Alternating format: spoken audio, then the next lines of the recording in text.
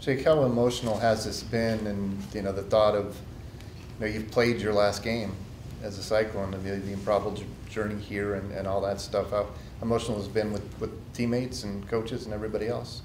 Well, I mean, it's it's been extremely emotional, I guess you could say. Uh, it's been a long, long journey since day one.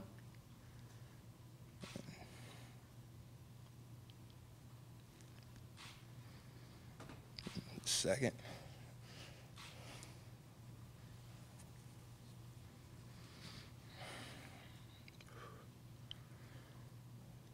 You know, as I'm sitting here, all these things are running through my mind of all, you know, some some tough times, some great times. But um, you know, I'm I'm I'm extremely lucky. Even if it got um, ended short, uh, I'm very very lucky. Um, uh, I guess you know they always say play every down like it's your last, but uh, when you know you go out there and you know, hey, this is it. This is you know the last, uh, the last game, the last time I'm going to do this, do that. Uh, it was you know it was emotional leading up to it, but it also you know that emotion helped you know fuel me to you know push past any physical barriers I felt. Jake Knott has spent the last four months rehabbing a torn labrum, all in an attempt to make an NFL dream a reality. In the face of critics worrying about re-injury, there is a strong belief from Jake and from his former coach Wally Burnham that he has what it takes to make it to the next level, a belief Burnham has had since Knott's freshman season. I remember after our first uh, spring ball, um, after my freshman year, uh, Wally Burnham brought me in his office and uh, we watched the film and he, he told me, you know, hey, he's like, you keep, you know, I kept rewinding on one of these one play I made. He's like, you keep doing this, Jake. You're gonna, you're gonna be an All Big 12 player. You're gonna be, have a chance at the NFL. You're gonna play in the NFL. All this stuff, and I'm just sitting there like, man, this guy's crazy. like, what is he talking about? I appreciate it, but I don't know, man. Burnham says that it's Jake's intelligence on the field and his physical and mental toughness that set him apart from many others he has coached. You know, there's a lot of smart football players out there, but a lot of them that don't understand the game.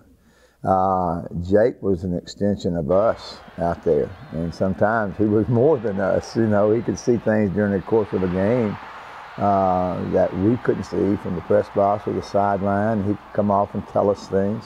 And a lot of kids came over, cannot overcome the mental part of it uh, to push and to learn and to sacrifice and uh, do all the things that it takes to be the type of player that Jake became.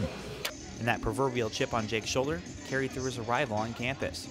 I think I, am a very self-motivated person and uh, you know, I like to uh, just go in and put in the extra work because I know, you know, being a guy from, from Iowa and you don't get the benefit of the doubt a lot. Uh, what I like to do is go in there and uh, outwork everybody, and that work has led to, you know, a lot of physical abilities coming out and uh, me being able to, to, you know, really show that I have some talent.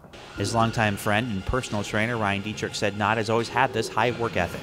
It's a family trait his parents are both really hard workers and uh, have a great blue collar mentality. I think he just kind of carried that over from observing them as he was growing up. Both my parents were the ones driving me everywhere when I was little, doing everything for me. And my dad, you know, he's one of my biggest supporters, but he's also one of the toughest, toughest, you know, critics you know, I can have. And I remember when I was little, uh, he told me, uh, you know, maybe you should just focus on playing playing baseball, you know, in college or something like that when I was around like 10 or 12. And I was like, no, I'm gonna play football. the whole, you know, deal with me trying to prove people wrong started at a young age. And now it's up to Knott to block out the concerns about his health and physical condition and keep working towards his ultimate goal. It's been a dream, and, it was a dream because I had to put in a lot of work to get, you know, to where I'm at, and that's I'm grateful for all the people around me for pushing me and and doing that like Coach Burnham has. You got to have the dream, then you got to go make that dream come true.